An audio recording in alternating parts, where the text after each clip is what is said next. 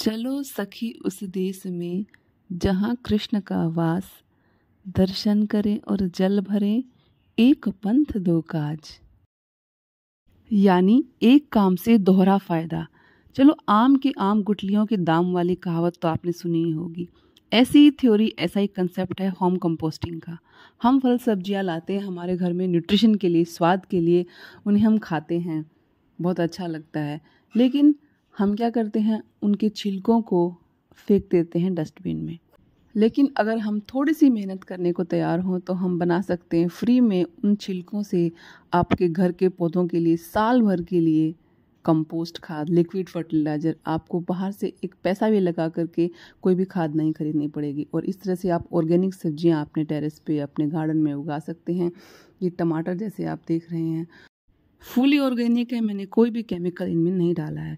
तो आज की वीडियो में मैं बताने वाली हूँ आपको कि घर में कंपोस्टिंग आप कैसे कर सकते हैं। देखिए यूट्यूब पे आपने बहुत सारे फास्ट एंड फॉरवर्ड मेथड देखे होंगे। थैली में भर के रख दीजिए, किसी पोर्ट में भर के रख दीजिए। देखिए कंपोस्टिंग का एक अपना प्रॉपर साइंस होता है, अपना पूरा मेथड होता है। अगर उस तरीके से आप करते हैं तो ही आपका कंपोस्ट न्यूट्रिशियस बनता है अदरवाइज़ वो कचरा बनता है। हे ऑल प्लांटोहॉलिक्स मैं कनिष्ठा स्वागत करती हूँ आपका मेरे चैनल में। और आज मैं आपको बताने वाली हूँ टोटल 10 बातें जो कि एक सक्सेसफुल कंपोस्टिंग के लिए आपको सीख लेनी है अगर आप होम कंपोस्टिंग सीरियसली करना चाहते हैं तो। चलिए जानते हैं सबसे पहली बात। वो है इस तरह का आपको एक सेटअप बनाना है अपने घर पे। एक ड्रम लेना है आपको, उसके नीचे होल कर लेनी है। ड्रम का साइज़ आप अपनी रिक्वायरमेंट के हिसाब से ले सकते हैं। मैंने बड़ा ड्रम लिया क्योंकि मुझे रिक्वायरमेंट ज़्यादा रहती है। उसके नीचे आपको एक टब लगा लेना है। टब के नीचे आपको एक तरह का एक टैप जो है वो फिक्स कर लेना है। ये सब सेटअप क्यों करना है वो आपको मैं अभी बताती हूँ। तो ये पूरा सेटअप आपको बना लेना है। ये है आपकी first requirement of a successful composting. Second requirement आपको क्या है कि आपको क्या डालना है? सबसे पहले इसमें आपको डालना है कागज़ और गत्ते के टुकड़े। आई एम सॉरी टू से कि वो क्लिप मेरी मिस हो गई है, लेकिन मैं आपको बता दूँ फिर से बता रही हूँ, सबसे पहले आपको इसके अंदर एक गत्ते की लेयर लगानी है, जो कार्डबोर्ड होता है ना, और अखबार होता है, उसकी लेयर लगानी है, उसके ऊपर आपको मिट्टी की लेयर लगानी है। ये सब हम क्यों कर रहे हैं? क्योंकि जो हम छिलके इसमें डालने वाले हैं, उसका 80 परसेंट तक पानी जो है, वो ये सॉक कर लेगा, और हमारा जो कंपोस्टिंग है, वो बहुत ही ज़्यादा न्यूट्रिशियस बनेगा। इसके लिए हमें ये वाला स्टेप करना बहुत ही कंपलसरी है। मैं इसमें मिट्टी के बजाय डाल रही हूँ, जो मेरा हाफ़ कंपोस्ट होके रखा हुआ था, जो फुली कंपोज नहीं फुली डिकम्पोज नहीं हुआ है, उसको मैं इसमें डाल रही हूँ। अगर आपके पास भी कोई कंपोस्ट रखा है घर पे तो वो डालें। इससे क्या होता है माइक्रोब्स बहुत जल्दी बनते और कंपोस्टिंग का प्रोसेस बहुत फास्ट होता है। ड्रम के नीचे होल हमने दो वजह से किए हैं। एक तो जो इसमें माइक्रो ऑर्गेनिजम्स होते हैं, वो ऑक्सीजन लविंग होते हैं, उनको ऑक्सीजन देने के लिए। दूसरा, हमारा कंपोस्ट बहुत ज़्यादा गिला ना हो जाए, इसलिए हम इसके नीचे होल करते हैं। साथ ही साथ मैं आपको बता दूँ कि इसके अंदर आपको फल, सब्जियों के छिलके वगैरह तो डालने ही हैं, लेकिन स्पेशली ध्यान रखें कि आपको इसमें कोई भी डेयरी प्रोडक्ट नहीं डालना है, कोई भी पका हुआ खाना इसके अंदर नहीं डालना है, मीठा इसमें नहीं डालना है, और आपको कोई भी इंसेक्टिसाइड पेस्टिसाइड से ट्रीट किया हुआ प्लांट या कटिंग इसके अंदर नहीं डालनी है अदरवाइज़ आप हेल्दी कटिंग इसमें डाल सकते हैं। अब है फोर्थ पॉइंट वो ये है कि हमें सिर्फ़ और सिर्फ़ वेट वेस्ट इसमें नहीं डालना है। अगर बेस्ट कंपोस्ट बनाना है तो बीच बीच में आपको इसमें सूखे पत्ते, सूखी घास वगैरह भी ऐड करती रहनी है। कुछ मेरी वीडियो सॉरी मिस हो रही हैं। सारी वीडियो मैं इकट्ठी नहीं कर पाई एक साथ। सूखे कचरे वाली वीडियो पता नहीं कहाँ चली गई मेरी।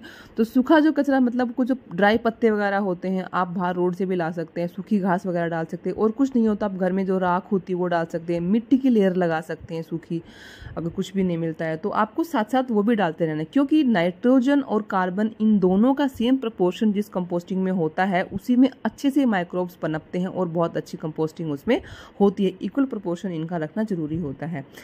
और जब आपका ये कंपोस्ट बिन पूरा भर जाएगा, उसके बाद आपको इसको अच्छे से मतलब दबा करके भर देना है और उसके ऊपर एक मिट्टी की लास्ट लेयर आपको लगा देनी है। और एकदम लास्ट में जब आपको बिन बंद करना हो फिर से आप एक गत्ते की लेयर लगा दीजिए। इससे दो दो फ़ायदे होंगे एक तो आपको बैड स्मेल नहीं आएगी और दूसरा वही बात हम इसमें फिर से गीला सूखा कचरे का प्रोपोर्शन ठीक रहे बीच बीच में आप देखेंगे कि आ, दो तीन दिन के बाद ही आपको कुछ पानी सा इकट्ठा हो जाएगा टब में लेकिन आप तुरंत उसको इस्तेमाल बिल्कुल मत कीजिए क्योंकि वो बहुत हार्श और बहुत स्ट्रॉन्ग होता है। आपको कम से कम एक महीने का उसको वेट करना है। जब तक वो थोड़ा सा ब्लैकिश कलर का हो जाए आप उस लिक्विड को निकाल करके उसका कम से कम दस गुना पानी उसमें मिला करके आप अपने पौधों पौधों में डाल सकते हैं। जी हाँ ये बात ध्यान रखना आप तुरंत उन यूँ का यूँ अपने पौधों में उसे न डालें, सारे के सारे पौधे जल जाएँगे, बहुत स्ट्रॉन्ग होता है।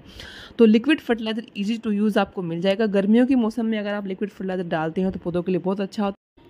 एक और बात ये इंपॉर्टेंट है कि आपको कंपोस्टिंग किस मंथ में स्टार्ट करना चाहिए? तो यही है कि आप फरवरी के बाद शुरू कर दीजिए इसे बनाना ताकि गर्मी का सीज़न रहते रहते आपकी कंपोस्टिंग अच्छे से हो जाए। तो मेरी कंपोस्टिंग छः महीने में तैयार हुई थी क्योंकि मैंने बहुत ज़्यादा अमाउंट में बनाया था। ये मेरा एक ये मेरा खुद का ही एक शॉर्ट वीडियो जो मैंने अपलोड किया था। ओरिजिनल क्लिप अभी नहीं है मेरी इसके पास तो मैंने इसको ऐसे सुखा दिया था। तो अभी अगली बात यही है कि आपको उस पूरी कंपोस्ट को अपनी छत पे या किसी खुली जगह पे ऐसे सुखा देना है। तुरंत उसको ऐसे कैसे इस्तेमाल नहीं करना है, उसकी थोड़ी सी गैस निकलनी चाहिए। और इस तरह से सूखने के लिए उसे आप रख दीजिए। ये देखिए गीला था मेरा ये कंपोस्ट उस टाइम पे काफ़ी, और अभी भी इसमें अर्थवम दिखाई दे रहे हैं। दैट मीन्स कंपोस्टिंग अच्छी हो चुकी है। अर्थवम तभी दिखाई देते हैं जब आपका कंपोस्ट मिट्टी बन चुका होता है। ये देखिए अर्थवम अभी भी अपना काम कर रहा है। कंपोस्टिंग आपकी अभी भी चालू है और बहुत अच्छी कंपोस्टिंग हो रही है। आप देखेंगे हाँ एक सबसे इम्पोर्टेंट बात मैं आपको बताना भूल गई, वो ये है कि क्या से, कैसे जाने कि हमारा कंपोस्ट अच्छे से बन गया है। देखिए, जब आपका कंपोस्ट जो है, वो उसमें बदबू आनी बंद हो जाए, उस समय पे आप जान लेना कि आपका कंपोस्ट बन गया, उसमें अच्छी भीनी भीनी खुशबू आने लग जाएगी खाद वाली, मिट्टी वाली। उस टाइम पे आपको निकाल लेना है, उसको सुखा देना है। सुखाने के बाद देखिए, इस तरह का हो जाएगा। मेरा कंपोस्ट कुछ ज़्यादा ही सूख गया था, क्योंकि हम कुछ दिन के लिए बाहर चले गए थे। इतना ज़्यादा आपको नहीं सुखाना है। तो अभी उसके बाद क्या करना, आपको सुखा लेने के बाद बारी आती है उसको, क्योंकि जो कुछ चीज़ें होती हैं, जैसे गुठली वगैरह होती हैं, कुछ हार्ड चीज़ें होती हैं, और वैसे भी हम ना चाहते हुए फिर भी डल जाता है प्लास्टिक वगैरह तो उन चीज़ों को अलग निकालना। अब हम करेंगे इसको क्लासीफाई जो जो हमारा चीज़ें डिकम्पोज नहीं हुई हैं, वो अलग से छलने के ऊपर आ जाएँगी और हमारी बेस्ट चीज़ हमें मिल जाती है। एक बात फिर से आपको रिवाइज करती हूँ मैं, जो शॉर्टकट आप देखते हो यूट्यूब पे कि थैलियों में भर भर के लोग कचरा रख देते हैं, बोलते हैं और उसको पता नहीं ओपन करके कैसे दिखा देते हैं। मैंने खुद किया है, ऐसा नहीं होता, ऐसा बिल्कुल भी नहीं होता है।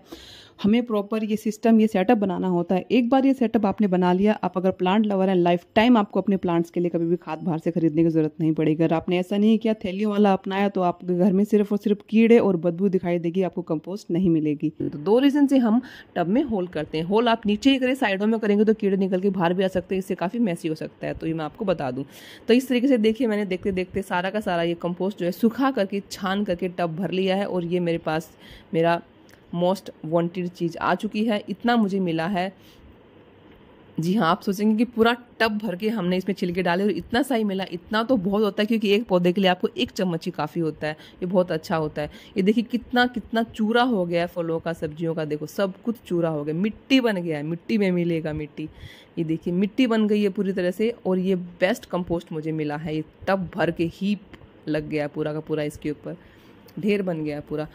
और जो बचा है जो चीज़ हमारे पास, ये सब कांच वाँच सब निकाल देंगे हम, उसको भी हम फिर से री यूज़ कर सकते हैं, फिर से जब कंपोस्टिंग करेंगे। जैसे कि आपने देखा था, मैंने स्टार्टिंग में आपको बताया था, हम उसमें इस्तेमाल कर सकते हैं। तो लास्ट और सबसे इम्पोर्टेंट पॉइंट इस वीडियो का ये है कि please subscribe to my channel please share subscribe and comment on the video मैंने तो अपनी जी, जान लगा दी पूरी इस वीडियो को बनाने में। आपको ये वीडियो कैसा लगा बताने के लिए प्लीज़ कमेंट करें। And thank you for watching thank you so much happy planting and happy composting. Thank you